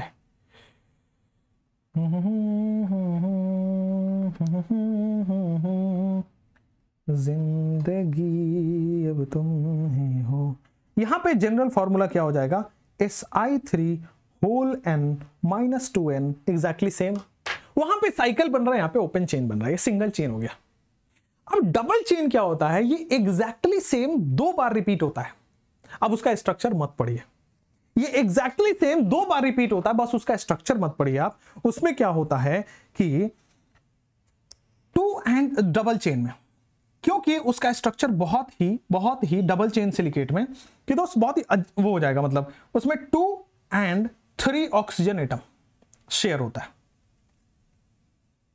कैसे? या तो दो हो सकता है, या तो तीन हो सकता है but some S I of some basic silicate units some basic silicate units share two atoms ठीक है?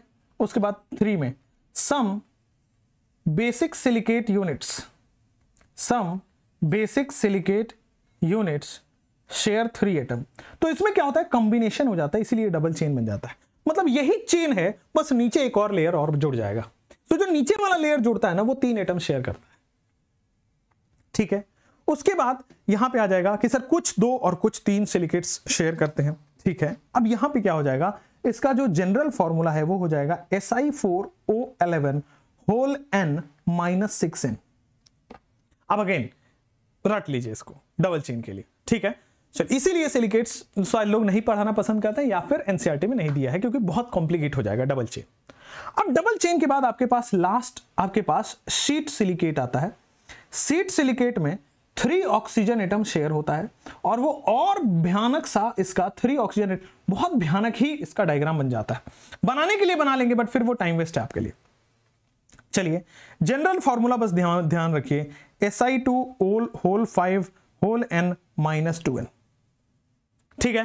एंड लास्ट में आपके पास बेटा थ्री सिलिकेट थ्री सिलिकेट कुछ नहीं होता है, वही एस होता है। ठीक है? Two all four oxygen shared silica पढ़े हैं ना?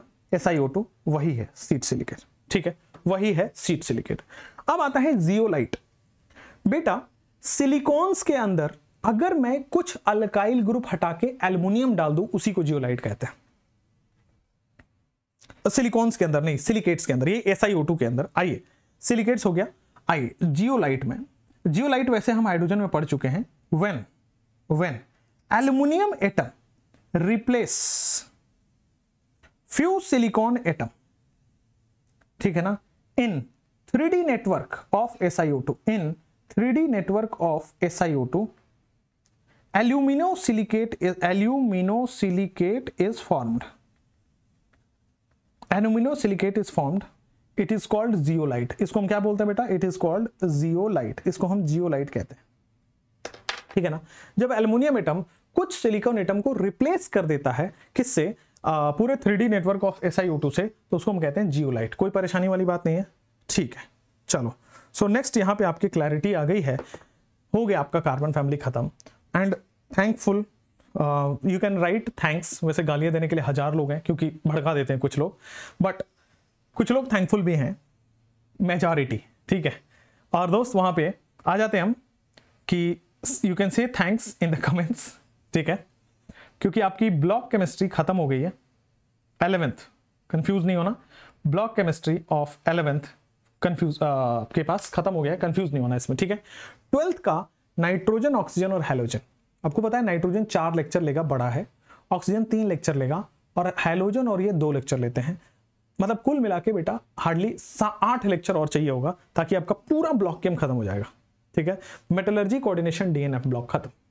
अब सोचो, हाइड्रोकार्बन भी आपका स्टार्ट हो रहा है, और इधर इनऑर्गेनिक भी चल रहा है।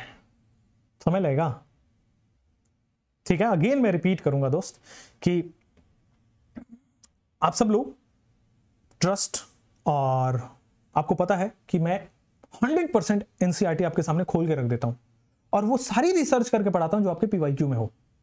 बेटा, मेरे पास पिछले पाँच साल के नोट्स पढ़े हैं। अगर मैं वही पढ़ा दूँ, जो कि पिछले दस सालों में पढ़ा रहा हूँ तो मेरा सिलेक्शन वही होगा जो पिछले कुछ, पिछले दस साल बाद पहले कुछ नहीं होता था। लेकिन अब सिलेक्शन बढ़ा है, पता है क्यों? बहुत रिसर्च कंटेंट होता है। बहुत टू द पॉइंट बात की जाती है। वही नहीं जो सब लोग पढ़ा रहे हैं। वह पढ़ाने के लिए मेरे पास बेटा दिन भर खड़ा हो जाऊँगा, आपको पढ़ा दूँगा। थोड़ा रिसर्च करने में भी समय देता हूँ। थोड़ा आ, इन सब चीज़ों में भी समय देता हूँ कि आपका भला और कैसे हो पाए। ठीक है? आपके डाउट्स का अलग से ख्याल रखता हूँ। उसके लिए भी पूरी प्रॉपर प्लानिंग है। अगेन पहले नहीं बताऊँगा करके फिर बताऊँगा। ठीक है? फिर आप बताना कैसे मज़ा आ रहा है। ठीक है? हसल करते रहिए मज़ा करते रहिए। Thank you so much